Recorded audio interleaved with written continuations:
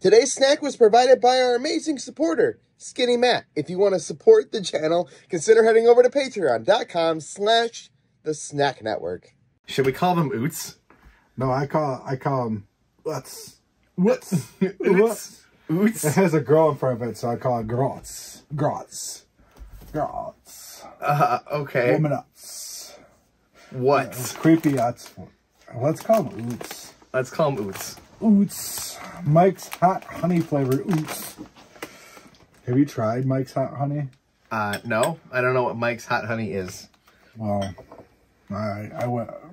You you are you are you are currently taken, so I don't want you to try Mike's hot. No, I'm good without trying Mike's hot honey. So this is supposed to be Mike's hot. I've had Mike's hot honey. Okay, I have you? It's it's the honey that just has like some peppers and stuff on it that makes it like a little bit spicy honey. Okay, so Mike, but Mike's hot honey is like a brand, like Frank's Red Hot, or Yes, Okay, yes. got. it. All right, you ready? So to get pop? ready to experience game-changing hot honey flavor. Uts treat oots streamed up with Mike's hot honey to cover our classic oots potato chips with a one-two taste punch of honey flavor then heat. Just one bite of the seriously delicious tip will have you reaching for the bag for more. for more oots. Oots. These look like the flamest. The pla they they must have got, gotten us the wrong bag.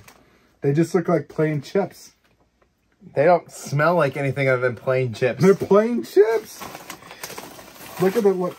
They look plain. They look like they maybe have a hint of like They they smell Yellowy. just like potato chips. Yeah. There's no honey to smell to them. no honey, no spice, no unique. I smell potato chips. Yeah, I just smell potato chips. They look slightly brown. Yeah. All right, it's just plain chips. Cheers. Okay.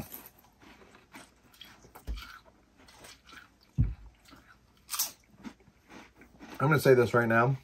Yeah. I don't think these are good. There is a tiny bit of spicy honey taste here, Yeah. but the problem is it's not very tasty. And then I'm also in my brain comparing them to the Pringles hot honey that just came out. And those are way better. Like it's the same concept flavor. And this like has like a weird gross aftertaste. Let me tell you something. First off, this bag of chips is already it's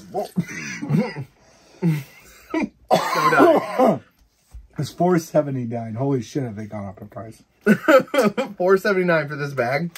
Yeah, And it's only full a quarter of the way. Mm-hmm. right right there, right there. And second off, I mean the flavor, the, it creeps up in the back of your mouth a little bit. Yeah, but I don't think it's It tastes like a. I don't like barbecue flavor to begin with. It tastes like a worse barbecue flavor. that is an accurate description. bad bad barbecue. Is if the barbecue went bad with like a weird Weird lingering- tickle at the back. back Yeah. A, a leftover hot tingle at the end. It's a worse barbecue chip. Yeah, no. No. That's Oots. oots. oots. Hot honey. No. No, Mike's hot honey. This this is Oots Mike's hot honey flavor.